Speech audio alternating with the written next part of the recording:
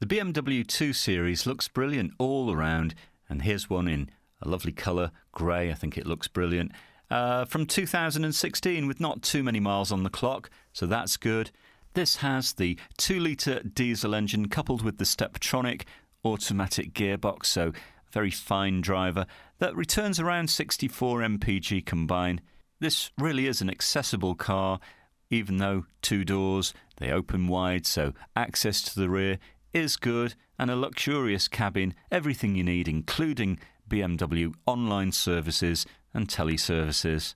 So, if you'd like to find out a little bit more, Jackie and her team in our call centre can give you all the details, and you can hold the car for up to 48 hours with no deposit and no obligation. Bring your licence with you, have a test drive, come and discover this great car for yourself at Fords of Winsford.